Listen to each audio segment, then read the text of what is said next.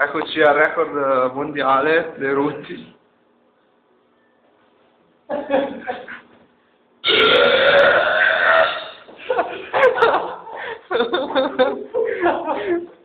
Caso, questo erano 100 decibel di...